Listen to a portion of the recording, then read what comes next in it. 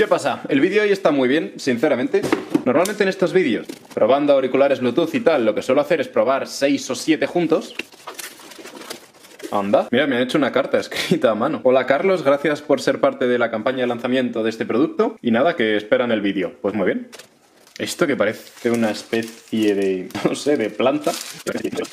Oye, qué chulada de unboxing. Estos son los LG Tone Free, unos auriculares bastante populares, bastante conocidos, sobre todo por el modelo anterior, el modelo FN6 en lugar del FN7. Y para que entendáis un poco cuál va a ser la estructura del vídeo, primero voy a presentar los tres productos que vamos a comparar, los probaré durante un montón de horas y os daré una conclusión. Es muy guay porque justo probamos dos productos muy conocidos y una tercera opción que yo creo que os va a hacer gracia. Entonces, estos, lo que hay que saber sobre ellos Aparte de que son una marca muy conocida, LG, en colaboración con una empresa, Meridian, lo que pone por aquí, que es una empresa inglesa, que lo que hace es equipos de audio y sobre todo son conocidos, o una cosa que habla muy bien de ellos, es que el equipo de audio tanto de Jaguar como de Land Rover es siempre marca Meridian. Entonces estos auriculares ya el año pasado eran uno de los competidores top dentro del mundo no Apple, pues de los AirPods y de los AirPods Pro, pues lo más raro que tienen, lo más especial, es probablemente esta luz azul que se me va a encender por aquí detrás. ¿La veis por ahí al fondo? Eso en realidad es mentira, son unos LED, porque la luz ultravioleta, tal como dice, pues mirad ahí una foto del espectro lumínico. El ultravioleta está por debajo del visible y es físicamente imposible ver el ultravioleta.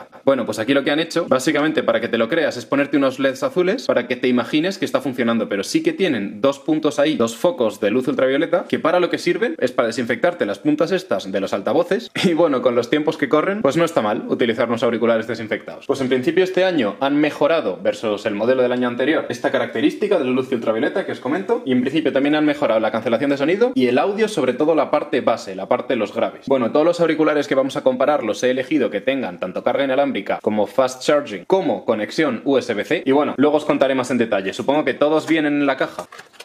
Ay, qué difícil de abrir te obligan a romperla. Quizás es una manera de comprobar que nadie ha abierto esta caja antes o qué, pero vamos, viene cerrada y tienes que romper un poco la caja para acceder al interior, donde no hay más que el cable de carga, las instrucciones y un par de recambios para las gomitas estas que se meten en los oídos, pues de distintos tamaños. Eso ya os lo podéis imaginar. Estos al tacto y demás, y cuando luego los coges en la mano, sí que se notan premium, se notan de cierta calidad.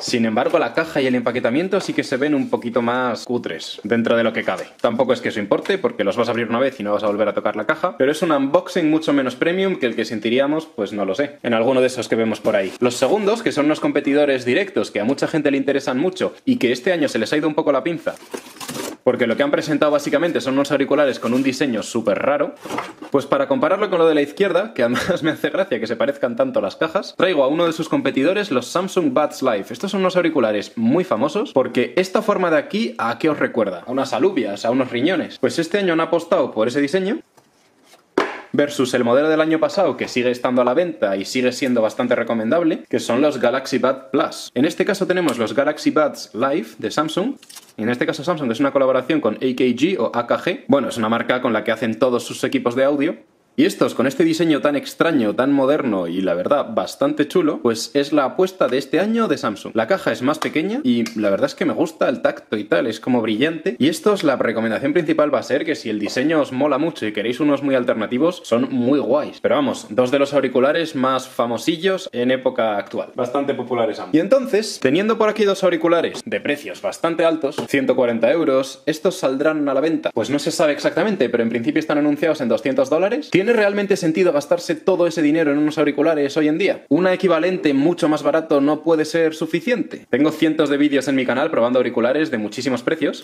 de hecho, el último vídeo que subí en esta saga de probando muchos auriculares, lo gracioso, es que decidí probar todos los precios, o sea, hice recorriendo, pues multiplicando por dos el precio, desde 15 hasta 200 euros. Por 15, 30, 60, os lo podéis imaginar. Así que si queréis ver alternativas mucho más baratas, os invito a ver ese vídeo, en la descripción lo tendréis. En este caso he traído aquí los Baseus o Baseus el modelo W05, que son unos auriculares de 26 euros, totalmente diferentes de esos dos. A ver si realmente el precio, 5 veces más caro que tienen esos dos, merece la pena. Estos, claro, ponen en valor cosas mucho más sencillas. Cuando te metes en la página web y demás, te dicen, vale, pues por fin hemos dejado atrás el single channel, que es cuando los auriculares se te conectaba al móvil uno solo de los dos y los dos se conectaban entre ellos. Ahora ya los dos auriculares por separado, los dos están conectados al móvil. Ponen en valor cosa relevante, la carga inalámbrica. Auriculares de este precio que tengan carga inalámbrica, pues no son todos. O que tengan un sensor para que cuando te los quitas se apague la música. En fin, como veis son cosas mucho más sencillas. Estos no tienen ni luz ultravioleta, pero vamos, ni nada. Los he traído básicamente para que os planteéis a ver si tiene sentido gastarse pues 5 veces el precio o 5 veces menos. Bueno, aquí los veis, un diseño más clásico. Estos nos los sabemos de memoria. Bueno, pues los probaré en profundidad, actualizaré el software de lo que haga falta y demás, y os cuento a ver qué tal. Compararé también con esos dos, los AirPods y los AirPods Pro, pues porque no está de más tener un punto de referencia más o menos. ¡Hala! Ahora nos vemos. Un pequeño detalle justo antes, sobre todo sobre los LG, porque sí que lo puedo probar, es que desde que los abres, sale por aquí ese cartel en el que le das a un botón directamente, me descarga la aplicación, me los conecta por Bluetooth uno a otro y yo no tengo que perder tiempo en conectarlos. Eso es una chulada que hacen estos auriculares con cualquier tipo de móvil, excepto con el iPhone. Con el iPhone no te lo hacen, pero vamos, esto empezó cuando Apple empezó a hacerlo hace tiempo. le iba a decir que no me va a salir, sí, sí que me sale, aunque tarda un poco. En fin, que esto lo hace Apple de toda la vida. Y Samsung también, pero solo con teléfonos Samsung. Yo no tengo un Samsung, lo único que tengo aquí es un Xiaomi y en principio no se deberían conectar solos. O sea, no va a hacer nada por mucho tiempo que lo deje. Y nada, eso era solo comentároslo. Que lógicamente cuando mejor funcionan unos Samsung es con un teléfono Samsung. En el caso de LG se puede utilizar con cualquier tipo de Android y en el mundo iPhone tendrá que ser con los AirPods porque si no la mayoría de ellos no te lo permiten. Voy a continuar probándolos y os cuento cosas. Estoy actualizando el software y una cosa muy graciosa sobre eso que os decía es que además se ve perfectamente a la izquierda la fuente de rayos UVA versus a la derecha el LED que no tiene nada que ver. El LED simplemente es luz azul. ¿Veis la diferencia, no? Ha pasado un montón de tiempo. La verdad es que grabar estos vídeos lleva un rato. Entonces, cosas buenas de cada uno, cosas buenas de otros, en fin, todo. Me ha gustado mucho de estos dos, luego ya hablaremos de los más baratos, pero tienen muchas cosas muy parecidas que me han sorprendido y me han gustado. Por ejemplo, la primera, que yo no la había visto nunca hasta ahora, y mira que he probado auriculares, que cada vez que tocas en el haptic feedback de los laterales, que se llama, que es básicamente cuando tú lo tocas por aquí, yo estaba acostumbrado a cosas como el Mac, que lo aprietas y te vibra un poco. En este, sin embargo, cada vez que tocas, para reconocer que has tocado en el lateral y que estás, por ejemplo, pasando de canción o algo por el estilo, él te reproduce un sonidito mínimo en el interior de la oreja que te confirma que ha funcionado el táctil. Lo hacen los dos, no lo había visto nunca, ojalá lo hicieran también los de Apple porque es una muy buena idea. Y nada, es un detalle pero me ha molado bastante. Entonces los controles táctiles funcionan bien porque tienes esa forma de comprobar que han funcionado. Si en algún momento no le das al sitio adecuado, no tienes que estar esperando a que pasen cosas, simplemente compruebas inmediatamente que no ha funcionado y lo vuelves a intentar. Así que eso es un detalle pero me ha gustado. Otra cosa buena de ambos es sencillamente la conectividad. La conectividad muy bien, está cambiando del teléfono al Mac y luego del Mac al teléfono otra vez. Y no solo eso, sino también está saltando entre teléfonos, entre el Android y luego con el iPhone. Y funcionaba muy bien, no se paraban a mitad, no perdía mucho tiempo en conectividades. Así que eso me ha gustado. Luego tengo que decir, un poco en el otro lado de la balanza, que el noise cancelling, la cancelación de sonido, en el caso de los dos, bastante flojita. Me la esperaba mejor. En el caso de estos, te mete mucho ruido blanco, mucho ruidito constante de fondo, como un,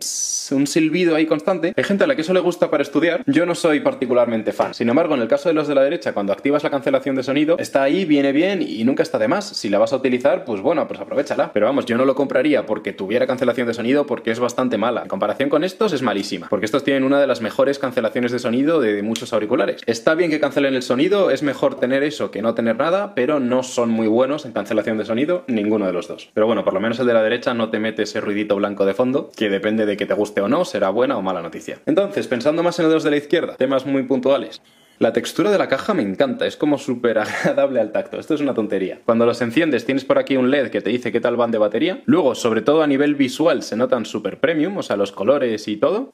Y sobre todo que son unos auriculares normales, te los pones y sabes perfectamente lo que son, no tienen diseños extravagantes. Esa es como la mayor diferencia entre los dos, lógicamente, que son auriculares más tradicionales. Pesan poco, son cómodos y no están mal. Sin embargo, la calidad de sonido es un poquito menos buena que la de los de la derecha. Suenan bien, la verdad, no tengo nada que decir. A mí me gustan más estos de por aquí al fondo, pero bueno, dentro de lo que cabe no se escuchan mal. Como te pones a jugar con los parámetros de la aplicación, ¿tienen alguna cosa graciosa? Pues lo típico de cambiar las curvas de respuesta en frecuencia, puedes actualizar el software yo lo he tenido que actualizar y además me ha hecho gracia que cuando los pones uno al lado de otro son como imanes, se juntan uno al otro. Y entonces, temas de batería relevantes, pues puede estar hasta 6 horas seguidas sonando música, 21 en total si lo vas cargando metiéndolo en la caja cada vez que se te acaba el ciclo de batería, y están bien, son unos auriculares que están bien. Si encontráis una oferta que os gusta y demás, no hay ningún motivo enorme que te diga cómprate estos en lugar de esos. Sin embargo, yo creo que los de la derecha se escuchan un poco mejor. Esto ya es totalmente subjetivo, pero en mi opinión me gusta más el perfil de sonido o la calidad de sonido de estos. Es cierto que jugando con la se pueden hacer muchos cambios y hacer que los dos suenen de forma muy diferente de como cuando salen de la caja. Pero yo si tuviera que decir un ganador entre esos dos, se me queda el de la derecha. Aunque sea muy raro, tenga una forma extraña y la gente no entienda ni lo que son cuando los llevas puestos, aquí os dejo una imagen de cómo quedan los primeros en la oreja versus los segundos versus los más baratos de todos, porque ya que estoy en esta parte del vídeo, pues los meto todos. Y podéis ver también los AirPods y los AirPods Pro. No sé, a cada uno le gusta un diseño. A mí en diseño los que más me gustan son los AirPods Pro o estos de aquí, que están bastante chulos, pero porque son muy raros. En realidad, en la cámara no sé qué opináis porque no se ve muy bien, pero en la realidad son mucho más grandes de lo que parece. O sea, te lo metes en el oído y ocupan bastante volumen, más de lo que me esperaba. Sin embargo, son tan raros y es una forma que yo no había visto nunca que habrá quien no le guste, pero a mí me parece agradable. Está como guay. Me gusta eso de no tener un plástico metido en la oreja, en realidad. Un poco como aquí, que no hay nada de goma que moleste. Pero bueno, eso estoy protestando por protestar. En realidad estos son bastante cómodos y los de la derecha también. Ya no son de los de hace años con goma por aquí que parecía que tenías como un tapón en el oído. No, hombre, este es bastante más cómodo. Pero bueno, este diseño nuevo extravagante la verdad es que me gusta. Lógicamente he probado que no se cayeran moviéndome de lado a lado y no hay ningún problema. En ninguno, ¿eh? o sea, ninguno se te va a caer del oído cuando lo tienes puesto. Y hablando por último de la aplicación en el caso de los de Samsung, me ha molado dos tonterías. Por un lado tienes la funcionalidad de Find My Earbuds, os lo voy a enseñar tal cual, la tengo por aquí, pero imaginaos que los pierdo, pues le doy aquí al botón Start y empiezan a piar como si fueran dos pájaros lo cual te permitirá encontrarlos si los has perdido por ahí. Esa es la primera chorrada. Y la segunda, aparte de lógicamente los típicos perfiles de audio que tienes aquí, pues aquí puedes cambiar el modo que quieras, ponerlo en modo Dynamic o Clear. Y luego tiene aquí el botón Labs, que me ha hecho un poco de gracia, que son Experimental Features. Cosas en las que han estado trabajando ellos y que si quieres probarlas, pruébalas, pero todavía no son productos terminados de Samsung. Esto mola por si te aburres, si te apetece entretenerte un poco probando funcionalidades raras, pues en la aplicación te permiten hacerlo y les vendrá bien pues como Product Testing. Así tienen a montones de usuarios en el mundo probando funcionalidades nuevas y eso está guay. En resumen, no están nada mal. Creo que voy a probar, aunque sea como experimento en alguno de los vídeos, pues estos son los Buds Live, los Buds Plus. Ahí tenéis una foto, que es como el modelo más conocido de esta marca, que ya el año pasado estaba bastante de moda y la gente hablaba muy bien de él, así que yo creo que lo probaré en un vídeo dentro de poco porque me parece interesante. Pero vamos, me han gustado bastante, ¿eh? no es ninguna mala opción, siempre y cuando os guste ese diseño, muy relevante. Y luego estos, hombre, desde que los abres aquí te pone el porcentaje de batería y alguna cosa más, porque cuando quitas uno de ellos te dice durante cuánto tiempo lo puedes escuchar sin tener ningún problema, son razonablemente pequeños, son razonablemente cómodos, la caja es demasiado grande comparado con la de al lado. La altura es parecida, pero es mucha más superficie. Son un poco más los auriculares de toda la vida estos típicos últimamente. Hombre, volviendo a la caja se nota un poco menos premium, o sea, cuando la abres y la puedo mover de lado a lado y hace algo de ruidito. Pero vamos, es que todo eso son tonterías. Calidad de sonido, sí, se escuchan peor que esos dos. Que a su vez esos dos se escuchan peor que esos dos. Pero es que eso es cuestión de precios, es normal. Estos valen 100 euros más que estos y estos valen 100 euros más que esto. Entonces la calidad de sonido no va a ser la misma. Al final en estos vídeos siempre saco un poco la misma conclusión. Duplicar el precio no tiene nada que ver con duplicar la calidad. En este caso el precio lo estamos multiplicando por 5, ni de suerte estos auriculares son 5 veces mejor que esos. ¿Son mejores? Sí, pero a ver, depende de qué presupuesto tengas, de lo que estés buscando, cuánto quieras que te duren y que quieras un producto un poco pijo, con una aplicación, con todo lo que sea. Pero vamos, es difícil, y esto ya es una conclusión un poco más filosófica ya para terminar el vídeo, es muy difícil justificar gastarte 100, ciento y pico euros en unos auriculares cuando otros 5 veces más baratos también se escuchan bien. A ver, el sonido en esos es bastante plano, a mí no me ha encantado la calidad de sonido, pero vamos, es lo que me esperaba. En fin, bastante chulos los dos. Os invito a ver el vídeo que subí la semana pasada en el que probaba estos, que también son bastante conocidos, los Jabra Elite Active 75T. El vídeo está en la descripción, porque son unos auriculares muy buenos. Yo si estáis dudando entre esos, me plantearía esta opción, que son más caros, porque estos cuestan... Hombre, si lo compras sin carga inalámbrica, los puedes comprar por más o menos el mismo precio. Si lo quieres con carga inalámbrica, son 200 euros y ya es muy caro. Pero no son ninguna mala opción tampoco, así que eso lo tenéis en el vídeo anterior. Y nada, no es tan mal, tenéis los enlaces en la descripción y, en fin, dos buenas opciones de dos productos bastante famosos de los que se va a oír hablar mucho en 2020, 21 o 22, ya igual no. Espero que hayan sacado nuevos modelos para entonces. En fin, gracias por ver el vídeo. En mi canal tenéis montones de vídeos de auriculares, así que si queréis suscribiros, pues veréis más de ellos. Y muchas gracias por verlo. Nos vemos en el siguiente. Hasta luego.